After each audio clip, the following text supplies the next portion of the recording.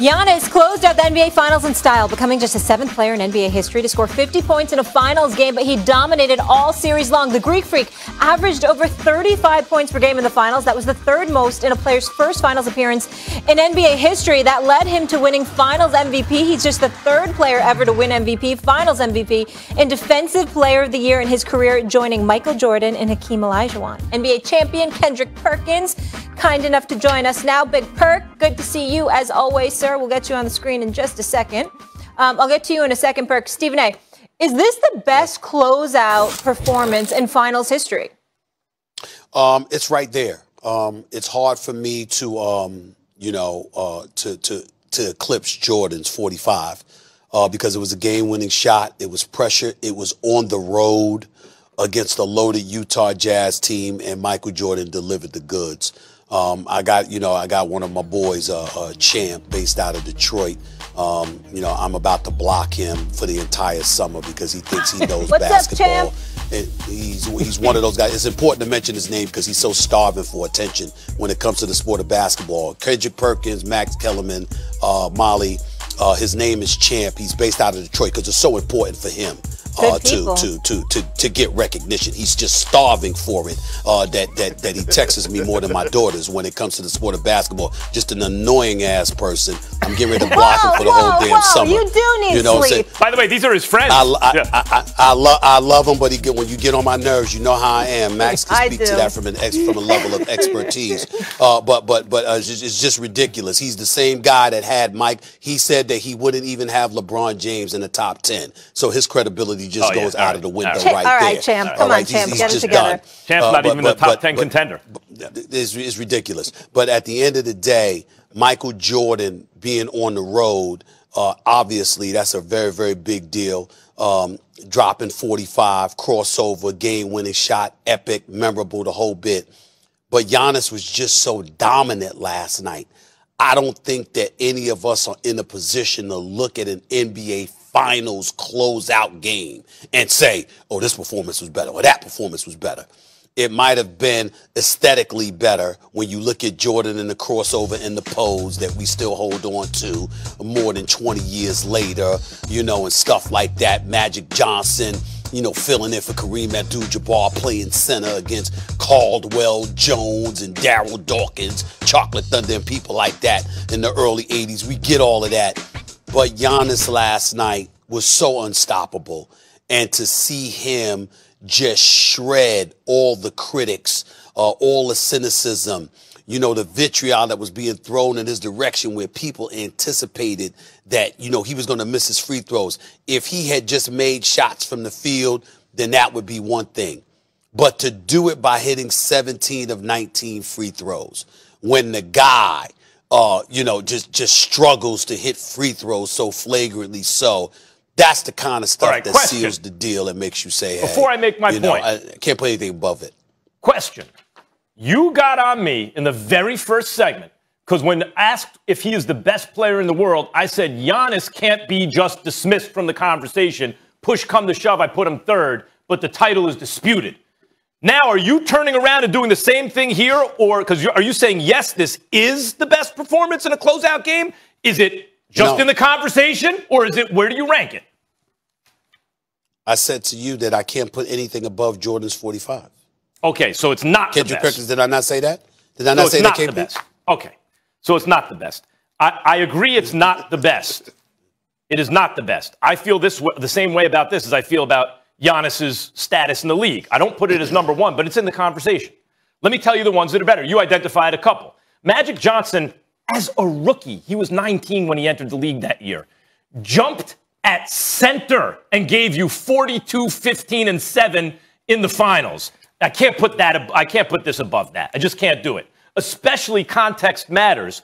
Everyone got hurt. Like the Bucks were not going to be in the finals if the Brooklyn Nets weren't hurt. They were getting smoked.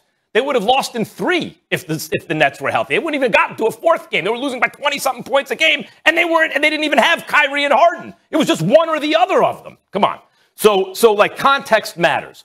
You bring up Jordan's game, I don't have to go up. Uh, uh, you know, I don't have to go over that again. Let me give you the one that's actually number one. Number one is Clyde Frazier, and I didn't see it, Stephen A. Maybe you did. I wasn't born yet. Clyde Frazier in the 69 70 season, it was so his 1970 finals, went up because, as you always say, Stephen, a context matters.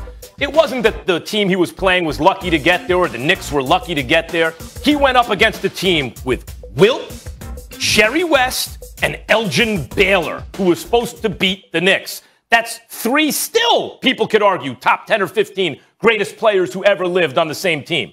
Clyde Frazier in a closeout, game seven, not game six, against that team, not a Suns team that was also lucky that both LA teams got hurt, gave you 36 19 and 7. That is the greatest closeout performance of all time. Giannis's is in that conversation with Jordan, Magic, and Clyde, but it's not number one. Well, well, look, no disrespect to all the all-time greats because we have seen a lot of great performances and a lot of guys rise to the occasion. But when you look at what Giannis did last night, and when you talk about closing out the job and, and finishing your food, as he would say, he did just that. He didn't leave any rice, any corn, any turkey legs or, or oxtails on the plate. He finished the mission. And when I said, look how he did it, it's how he did it in great fashion, being down 0-2, winning four straight to win the championship. But last night in particular, when the game started, it was one person on that floor that looked like they was ready from the moment, from the start to the finish, and that was Giannis Antetokounmpo, the Greek freak. He started with it on his mind. Going what four for six from the field in the first quarter, attacking downhill, knocking down his free throws, something that he hasn't done really all playoff series long. He go up there and he shoot over 90% from the line. And then when you think about what he done offensively for just imposing his will, play after play after play, the cardio, the stamina, the will to want to have to do it. Because when you look at a game, when you look at a game six like this, the pressure is on the Milwaukee Bucks to close it out. You look at a game six, you know, it's a must win situation, and he embraced that moment. And then when you talk about his defensive impact, five blocks, those hmm. were intimidating blocks. We kept saying, Stephen A., I saw you tweet out and say, don't throw Ayton the ball. He looked petrified, he looked terrified, or whatever the case may be. He did because it was the presence of Giannis down there, embracing that center role. He walking, he's stepping into three pointers, knocking them down. And here's the knock that we all have had on Giannis. When it matters the most in those crucial moments in the fourth quarter, can he deliver? And guess, and last night, he did just that, whether it was from the free throw line or getting to the basket or making the, the, the block shots that, that was really needed at the time. He did that in every aspect, well, and this is why I say it was the greatest closeout performance in NBA history and finals. Well, let's history. say something. Let, let, let, let's point out something, KP. I'm not going to let you get away with something here. I understand that Giannis could be intimidating. Giannis was a man on fire last night. Don't act like you don't know when certain cats, the moment itself is just too much for them. Now we good, we know good mm-hmm. and damn well that that ate Ayton bobbling the ball even when he was rebounding, looking like he had grease on his hands. So I don't know what the hell it was. You know good and damn well that wasn't just about Giannis. That was about a closeout game in Milwaukee, and we had a young brother whose youth was exposed, and he was scared to death. That's number one. Yeah, but number two, I, I want to say this though. When we look at Giannis, okay. here's what I want everybody to appreciate. When we criticized Giannis in the past, it was because he didn't have the combination of a perimeter shot and free throw shooting ability. We've never accused him of being scared. No one has ever accused Giannis mm-hmm. of being scared. We thought that he played bully ball, he pushed you downhill, he had momentum, and he knew how to finish at the basket. But if you kept him away from the basket like Kawhi Leonard did, it would be problematic for him. What makes it impressive last night is that, okay, you still might not have had a perimeter shot, but you was hitting a couple of them last night, even hit a three. A turnaround jumper in the lane, too. A fall away 15 foot shot, he hit that. Plus, he hit his free throws. So last night was his night, but the free throw shooting was really what sealed the deal because you had to be brave in order to put yourself in that position because you know how you struggle from the free throw line. And he didn't care. And that's where he has to be applauded for his greatness last night because he faced adversity and said, I don't give a damn. Here I come.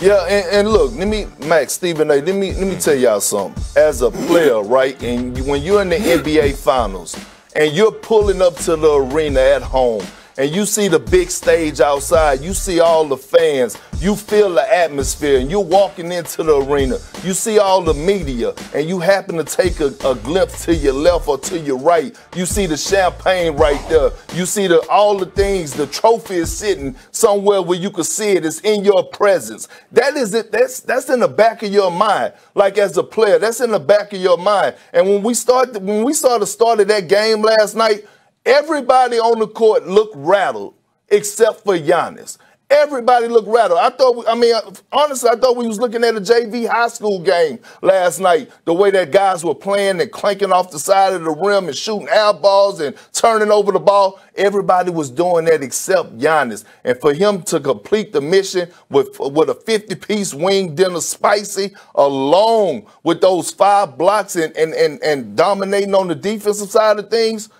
it was just a hell of a performance. The one of the um, greatest I've seen, the greatest. Perk, you just made the point I was going to make, so I'll just add this because because everyone, I agree, everyone looked shook. The whole Phoenix Suns team, including Chris Paul, Devin Booker, looked tight early, right? Um, I just need to put, we have to bring up Bill Russell if we're talking about closeout games. He was Mr. Game 7. Bill Russell, and you, a former Celtic, Kendrick Perkins should appreciate this. Game 7, 1962 against the Lakers went for 30 points and 44 boards in one game. So did you see the game, Max? To, of course not. We're talking about. Did you ever. see the tape of the game? Did you see the I tape have, of the game? I have not watched that game. No. Well, well, that that that that would be Max. Why we didn't mention it? No. Well, no, we didn't say that you've ever seen. It's, I didn't see. that, I'm just saying that. Would, yeah. I, I, one would well, deduce that you know we want we want something we saw. But it did Max. occur. But it did occur. It did occur. Like, let's okay. put it this way: Can we let and, this segment go by without mentioning mention Bill Bob Russell? Pettit? We got to. Then why didn't you mention Bob Pettit? Bob Pettit dropped 50 in a closeout game against the Celtics in 1958. We can men- How come you we, didn't mention that, Max? Mm. We can mention a lot of guys, but right. Bill Russell got to got, mentioned. We got to go to break. The Nets open as next season's titles favorites, followed by the oh, Lakers God. and then the Bucks. Everybody needs a oh, vacation. Oh when we come back on First Take, uh,